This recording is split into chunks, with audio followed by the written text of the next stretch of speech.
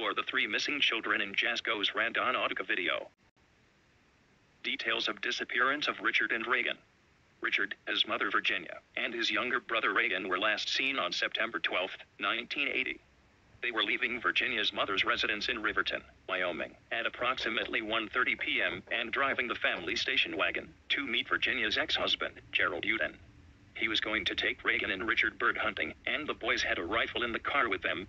They never arrived at their destination, and have never been seen again. The Uden's 1973 Ford station wagon, which Virginia had borrowed from her mother, was found abandoned and vandalized on October 4, 1980. Nearly one month after she and her sons had disappeared, the station wagon was located in the vicinity of the 700 block of North Federal Court in Riverton, Wyoming near Dixon Park Road and Trout Creek Canyon, in the Wind River Canyon region of Fremont County.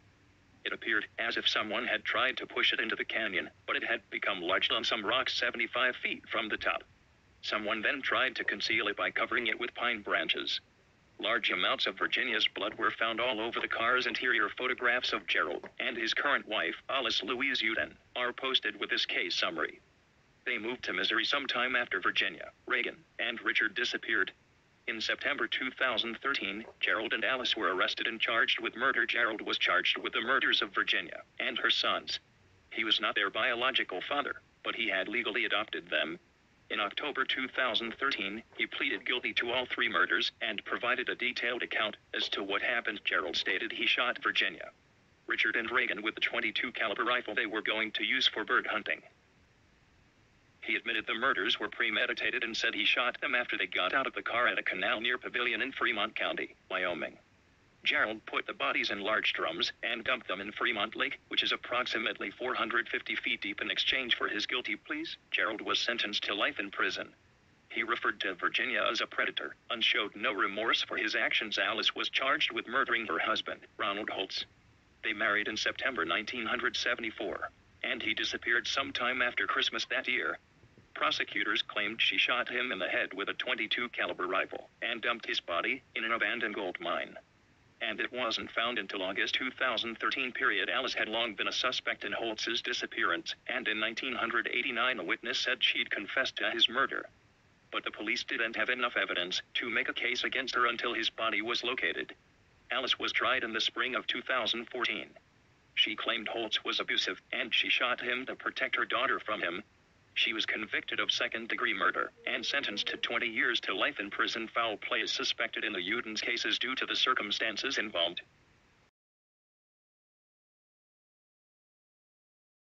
Details of disappearance.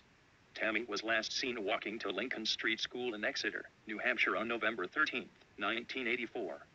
A neighbor saw her cross Court Street at approximately 8 a.m., but she never arrived at school. Tammy has not been seen again. She was, was not reported as a missing child to law enforcement until after the school day ended, as Lincoln Street School did not verify students' absences until after her disappearance. Extensive searches of the area produced little evidence as to Tammy's whereabouts. Police received a tip that she may be buried in Exeter Cemetery in a grave dug in 1984. They dug up the grave and found only the 91 year old woman who was supposed to be there. They drained and searched a pond in 1996 and found nothing relating to Tammy's case. Victor George Wanyet Jr. was named as a suspect in Tammy's case shortly after she disappeared. Wanyet was employed at Brad's Custom Auto Body on Main Street in Exeter in 1984, which was located several blocks from where Tammy was last seen. Police found a photograph of Tammy in his house as well. A photo of Wanyet is posted with this case summary. He has a criminal record dating back to the 1960s and was periodically imprisoned for forced entry, larceny, and sexual assaults throughout the years. He is also considered a suspect in the 1984 Florida disappearance of Marjorie Christie Luna. He lived near Christie's residence at the time she vanished, and her case remains unsolved as well. He was sentenced to 75 years for burglary and indecent exposure in Florida in 1992 at the trial. Wontai was never charged in connection with either child's case, and no physical evidence connects him to the disappearances. Prison inmates testified that he admitted killing Christie and Tammy. He was, was released from prison in 2012 and died eight months later. Wontai was incarcerated for burglary in Florida in 1992. He was never charged in connection with either Tammy or Luna's cases, and there was no physical evidence linking him to either of the girls' abductions. He died in prison in 2012. Tammy remains missing, and her case is unsolved.